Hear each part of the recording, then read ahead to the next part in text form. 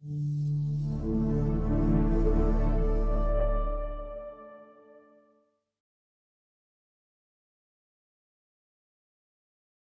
radiographic exams are one of the primary diagnostic tools to determine disease states and to formulate the appropriate treatment.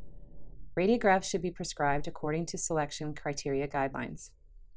These guidelines are based on a variety of factors, including the patient's medical and dental history, clinical signs and symptoms of disease, risk factors, age and dentition, and new or recall status. Dental radiographs are valued diagnostic tools when the image quality is adequate enough for proper interpretation. To do this, it is imperative to correctly place the image receptor in the mouth and ensure that the primary X-ray beam is centered and aligned correctly in both the vertical and horizontal angulations.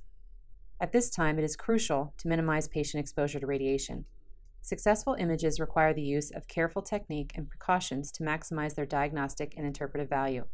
This video is provided by Dentsply Sirona and is to be used as a guide to enhance the clinician's skill in acquiring quality radiographs.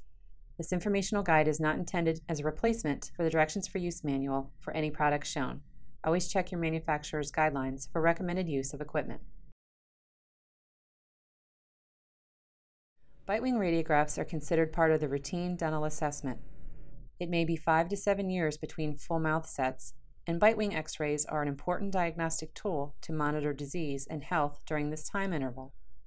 To properly detect caries and periodontal disease, it is essential to capture open contacts between teeth and maxillary and mandibular bone levels. It is important to ensure that the central ray is perpendicular to the image receptor. Placement for the premolar bite wings will often require an adjustment of the sensor to capture the distal of the canine and avoid overlapping. On premolar bite wings, center the image receptor behind the second premolar. Indicated for horizontal and vertical bite wing radiographs when using digital sensors. The Fastab bite wing holder is a disposable adhesive bite wing tab for use with Rinn tight sensor covers.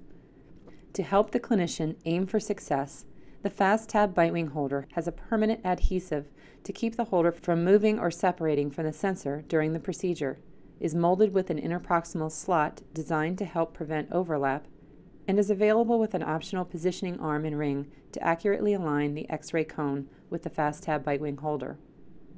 Features and benefits include an interproximal positioning slot, which aids the clinician in visualizing the central ray being parallel to the interproximal spaces, which will help open the contacts. The base is large and the bite tab is wide, which helps the occlusal engagement and stability. There is improved patient comfort with less bulk.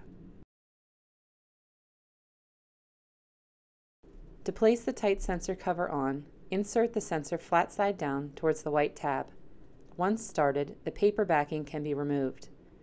When you reach the tight part of the sensor cover, hold the sensor at the bottom with one hand, and with the other hand move the sides of the cover down over the sensor. Do not push or pull on the cord to place the sensor into the sensor cover. Attach the Fastab holder onto the sensor cover in correct orientation for either horizontal or vertical bite wings. Press the holder firmly for 5 seconds to ensure a permanent bond to the sensor cover.